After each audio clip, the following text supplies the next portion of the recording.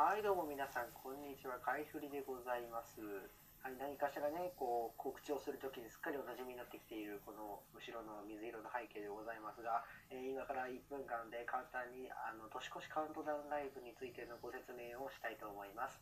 えーまあ本当にタイトルの通りなんですけど、えっ、と、